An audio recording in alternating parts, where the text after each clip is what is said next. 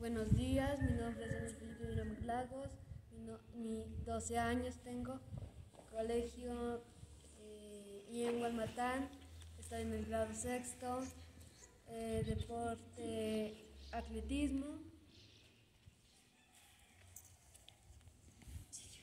Abdominales.